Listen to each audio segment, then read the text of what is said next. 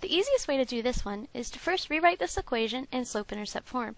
Slope-intercept form is y equals mx plus b, okay, where m is the slope and b is the y-intercept.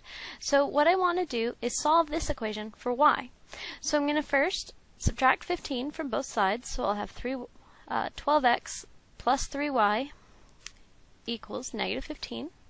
Then I need to subtract 12x from both sides, so I'll have 3y is equal to negative 12x minus 15. Okay. Well, now I need to divide both sides by 3, so the y will be by itself, so divide by 3, divide by 3, so y is equal to, whenever you have two things being added or subtracted from each other, two terms, you um, and then divided by a single number, you divide each of the individual terms by that number. So what we would do is we would divide 12x by negative 12x by 3, and then we would divide negative 15 by 3. Okay, so y would equal negative 4x minus 5. Okay, so my slope is the number in front of the x, the coefficient on the x, so it's negative 4 and my y-intercept is negative 5. So what this tells me is my first point is right here, point 0, negative 5. To be able to graph a line, you need two points. Well, we have one. We can find the second one using the slope.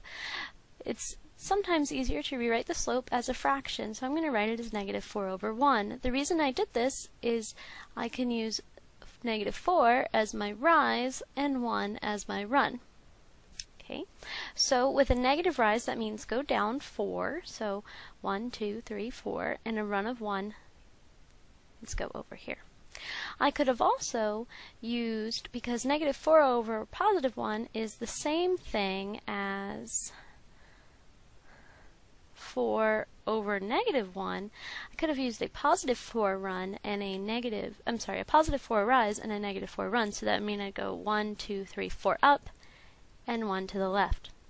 So I only needed the two points, but I have three here, so I just draw a line through them. Notice all three points are collinear, which is good. And there we go.